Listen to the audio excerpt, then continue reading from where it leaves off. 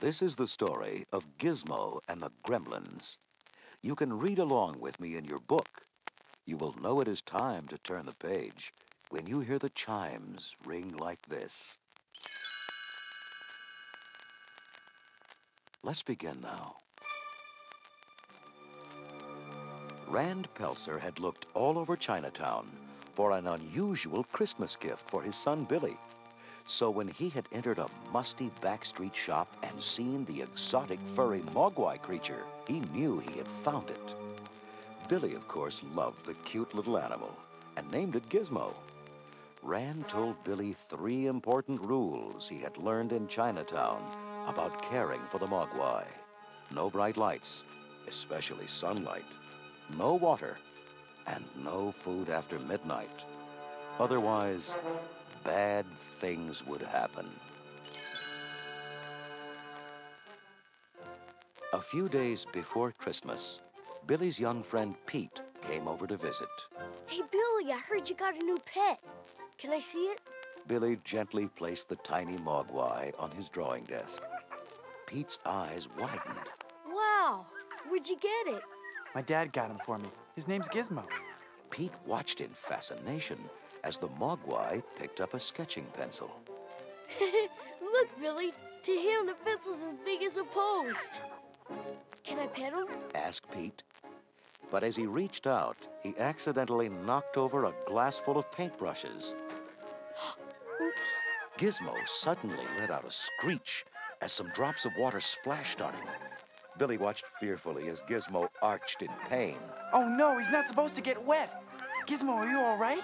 As Billy stared helplessly, something strange happened to the tiny mogwai.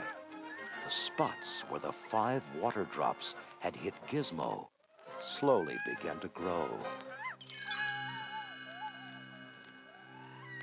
Then, as if by magic, the spots became five tiny balls of fur and popped off Gizmo's back. Billy's mouth fell open as the furry balls grew and grew. Each one then uncurled to reveal a brand new mogwai. Pete watched the five new creatures stand up and stretch their new arms and legs. Wow, this is better than a comic book. That must be how they multiply, Pete. No wonder you're not supposed to get them wet. Billy examined Gizmo. Look, he's fine. The spots have completely disappeared. It's as if they were never there. The new mogwai grinned at each other, but Gizmo shied away from them all.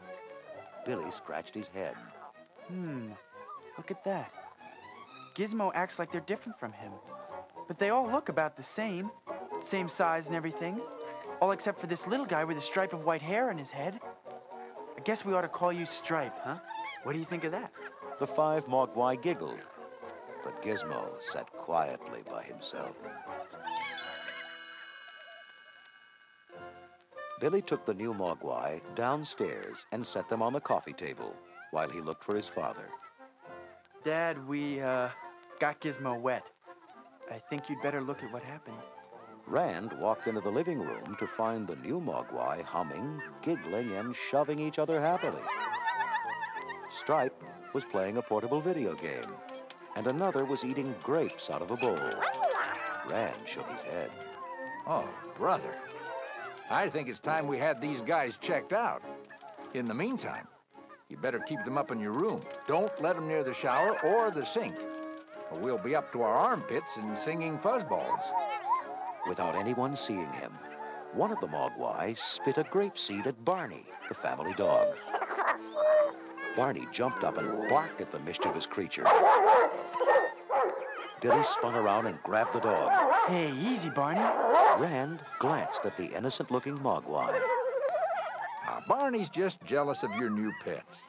It might be a good idea if he sleeps downstairs for a while. Gizmo stood in the doorway and frowned. He knew it wasn't Barney's fault. The next morning, Billy took a mogwai to his old friend, Mr. Hanson, the high school science teacher. Billy told him about the three important rules and how the new mogwai had been created. Mr. Hanson examined the tiny creature carefully. This is amazing, Billy. I've never seen anything like it. I'm afraid all I can tell you is that water has to be above freezing for them to multiply.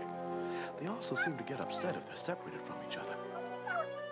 But frankly, I've no idea what would happen if you fed them after midnight.